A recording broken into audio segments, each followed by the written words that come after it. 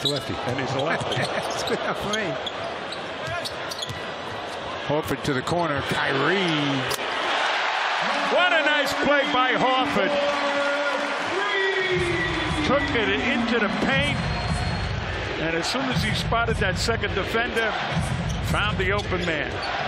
That's a travel. I should have been a travel. We call a foul.